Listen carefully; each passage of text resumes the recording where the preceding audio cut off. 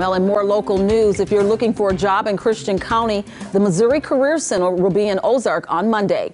Now, the one stop pop up job center will be at the least of these food pantry that's located at 1720 West James River Road in Ozark from 9 in the morning until noon. And job hunters can research open jobs, get help with resume building, and learn about job skills classes.